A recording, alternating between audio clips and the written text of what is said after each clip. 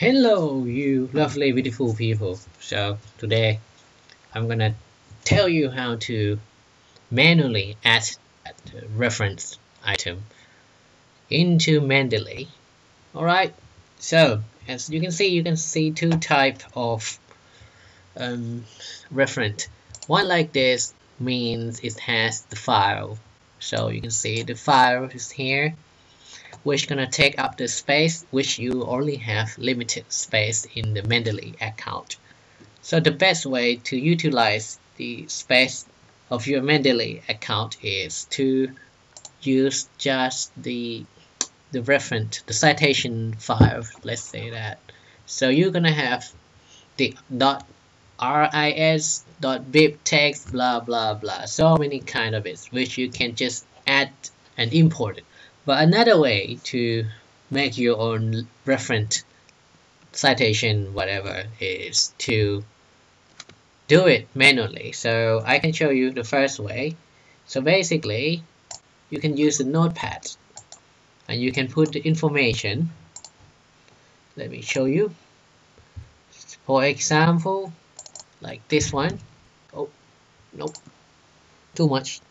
I'm gonna show you the one I made by myself? Yeah. Okay this one is the example. So the way you can do it is to put the title first author the date of publication publication the journal whatever the URL DOI if you have it page number whatever you have all the information. Just make sure that you you make the line like leave a you know a space between line. That's the best way to do it. And then you save it and then you import it and then let's pretend that we import this one just now and then we come here to the detail make sure that you get the right type of um, document as a reference make sure the title is correct the author is correct so you can actually change it so you can just put last name comma first name or you can just put first name space and last name and the system will automatically put it into last name comma first name format for you.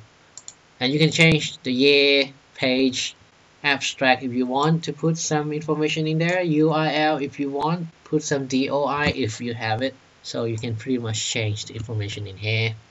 Another way for example let's say I want to add something in the global warming something about CO2 so what I can do I have information from let's say from this website. Alright?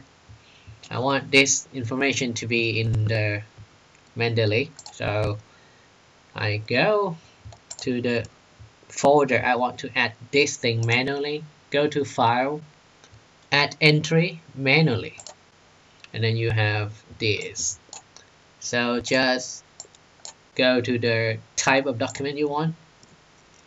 And then um, mm -hmm. so breakthrough. So this is supposed to be the title. All right. Author who is the author? Technical Universität München publication. Mm, not really not really a publication. 2018 abstract. Not exactly abstract but you can put the first paragraph in there.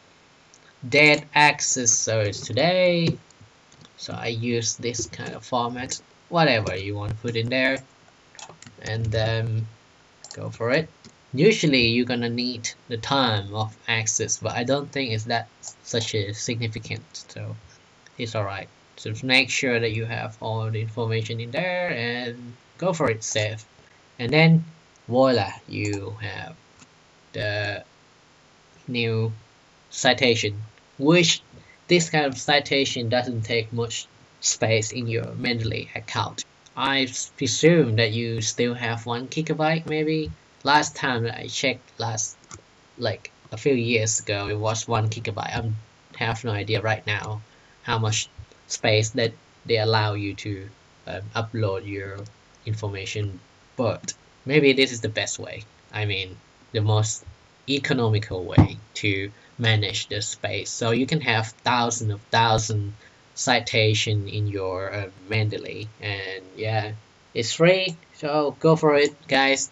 Alright I hope you learned something today and I see you next time on my channel.